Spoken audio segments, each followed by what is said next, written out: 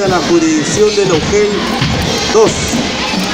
Su trayectoria educativa a través de 70 años de vida institucional viene formando mujeres con un alto grado de formación académica y promueve la práctica de valores dentro de su entorno cultural y social, lo cual ha llevado a lograr los primeros puestos en los distintos concursos educativos, cívicos y deportivos.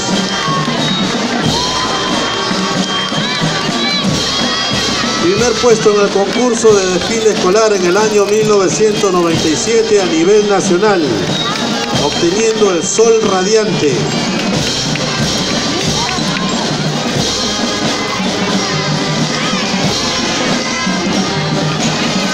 Primer puesto en el concurso de robótica a nivel nacional en el año 2009, representando al Perú en el país de Turquía.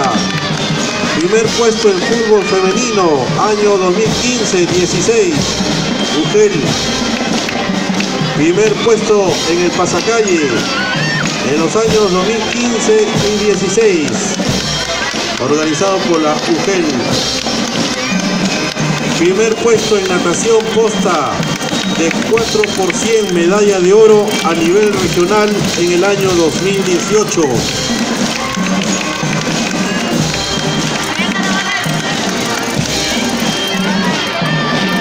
Primer puesto en fútbol femenino, atletismo, futsal, natación.